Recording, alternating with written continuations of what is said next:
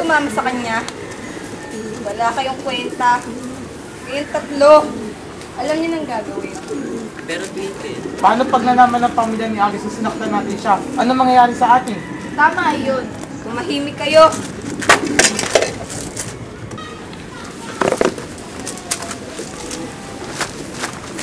At sa'yo,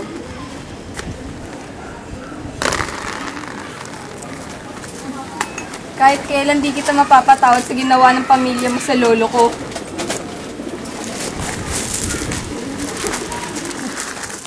Ton? Ha? Wala siya? Nawawala ng aking presensya sa kanyang buhay. Kaya, mahiga na lang ako sa kama niya. Ah, asing amoy nito si Ton.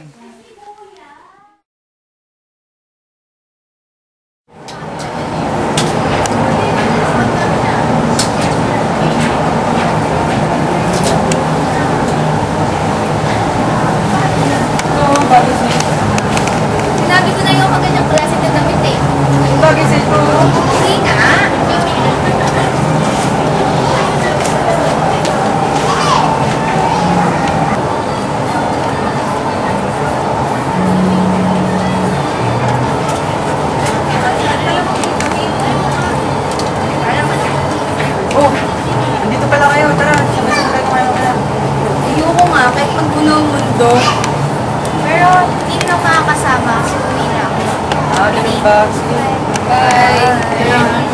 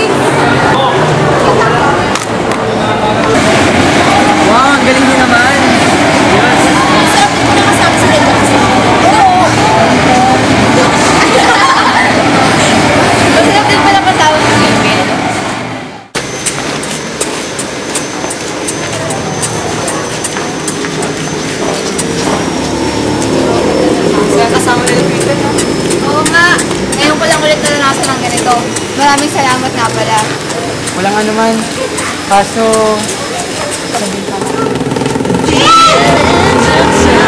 Hello.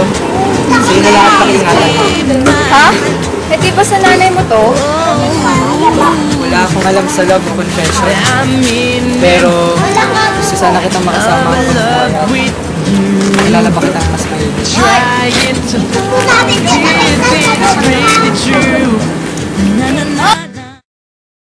Naghahanda akong lumakad sa daan na iyon. Ang daan ng kasiyahan, ang daan ng kinabukasan, ang daan na hindi pa nabubuksan sa akin noon. Kasama ang isang tao na malapit sa aking puso, ngayon at magpakailanman sa daan na ito.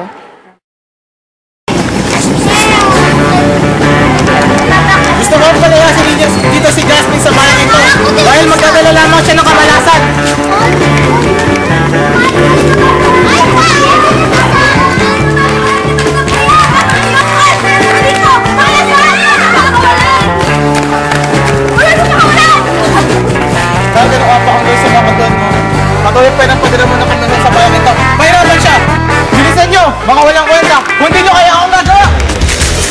Protektahan ko. Son? Protektahan ko ang nanay ko. Son! Huwag mo lakuin ang nanay ko! Malis ka dito! Magagawa ang mahal ko! Pigilan niyo si Mayor! Bitawan niyo ako! Dali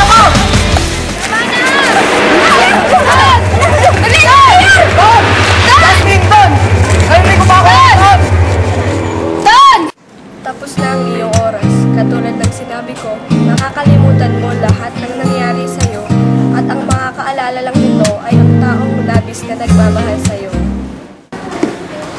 O, kumusta naman si Don sa paaralan? Ayos lang naman po siya, Uncle. Hmm, mabuti.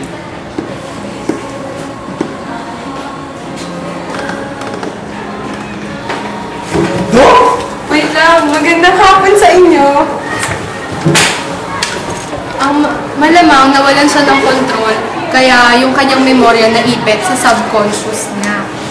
Pagtatangkang ibalik siya sa realidad ay maaaring makapagpalala sa kanyang sitwasyon. Kaya dapat tanggapin niyo ang realidad na mahirap ang kondisyon niya sa ngayon.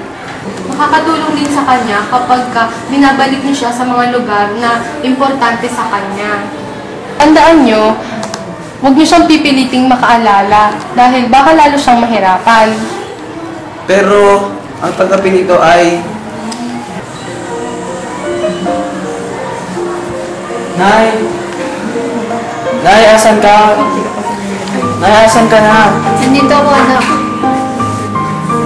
Nay, dyan ka, di ba? Anak, buka ka dito,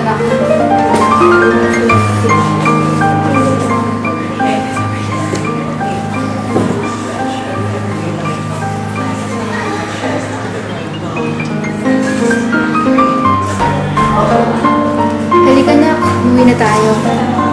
Dok. Sige, mag-ingat kayo ha, pagbabayad kayo ng Diyos. salamat po, Dok.